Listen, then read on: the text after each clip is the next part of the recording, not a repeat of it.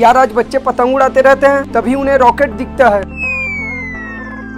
जिसमें से एक डब्बा गिरता है, जिसे बच्चे लेकर मेरे पास आ जाते हैं। तो चलो इसको खोल के देखते हैं कि इसमें क्या है। लेकिन नहीं गए उससे पहले आप लोग वीडियो को लाइक करके चैनल को सब्सक्राइब कर दो, कर दिया तो चलो अब खोलते हैं। और जब इसको खोले तो इसमें से तो रॉकेट वाला काइट मिला, जो कि दिखने में भी काफ़ी ज़्यादा यूनिक लग रहा था। और जब इसको उड़ाया तो बिल्कुल रॉकेट की तरह उड़ने लगा।